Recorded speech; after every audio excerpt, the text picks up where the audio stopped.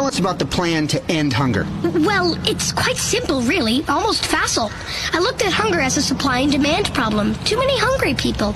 Simple. Rather than reducing the number of hungry people, simply reduce the number of people using involuntary euthanasia for the weak and unfortunate and turn them into compost for our crops. It's simple. You want to kill people to reduce hunger? Absolutely. It's brilliant. It's barbaric. I blame video games.